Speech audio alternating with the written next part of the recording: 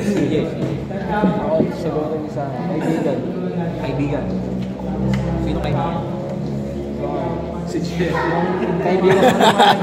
Grabe ka naman. Rektahan. Ko next time. Ex na? Bakit ano nangyari? Wrong sa akin. Yung magchat-chat lang siya dahil may kailangan, pag may kailangan. Nakakaano. Parang ano, Sabay pag ako mag-chat-chat. Hindi pwede. nagchat-chat ka ba dahil kailangan mo ako? O kailangan mo ako kaya ka nagchat-chat? Ah, Parang ano yun. Pang pelikula yun. Sige, drop mo daw.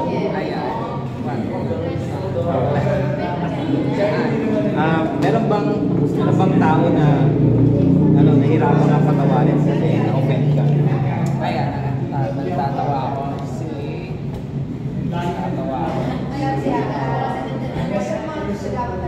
Ako nagtatawa ako. Nang,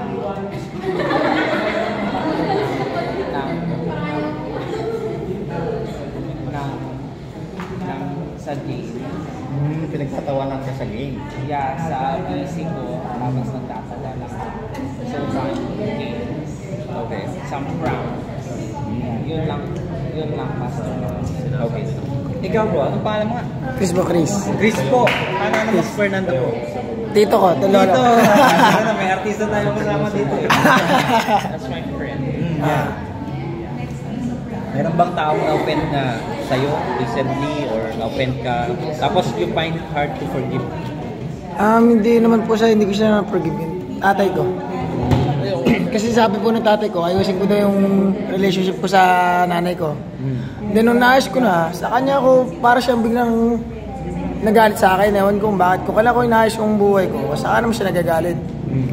Kasi napasin niya, yung ginagawa niya noon, ginagawa ko ngayon. Eh, siguro natatakot siya na baka magaya ako yung buhay ko sa kanya ngayon na galit na siya sa, basta ayaw na nga niya lumabas ng bahay po eh. Nag, nag-ano kami, parang 360. Siya na ngayon ang depressed. Ako naman ngayon nasa labas. Samantalang dati ako yung depressed. Siya na nasa labas lagi. Ayun, siguro nga sa dami na tinulungan niya dito, sobrang bitter na ni Papa na wala man lamang siyang recognition dito sa siniluan. O ngayon, ginagawa ko yung ginagawa niya. Pandenyo ah. Mga, Pa- Pandenyo pa nakatira. oh, pandan niya, bandirasa. Ah, Balerama. Ayun, kaya po ganun.